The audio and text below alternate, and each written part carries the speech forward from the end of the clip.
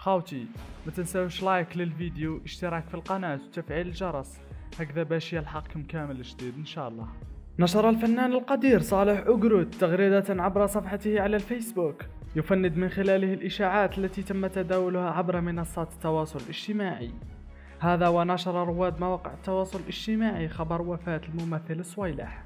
وكتب الممثل الكبير ومحبوب الجزائريين تغريدة هو كان هذا مضمونها.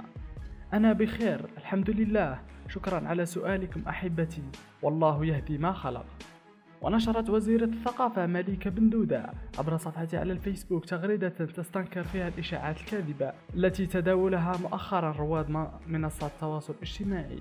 بنشر خبر وفاة صويلح أطال الله في عمره وشفاه. وكتبت بن دودة بهذا الخصوص الإشاعات التي تطال تطاله في كل مرة من دون تحقق مؤذية له ولعائلته ولنا جميعا. وأكدت الوزيرة في تغريدتها على وجوب التأكد قبل نشر أخبار قد تعدي أصحابها وقالت يجب التفكير مليا قبل تداول أنباء قد تؤذي الآخرين.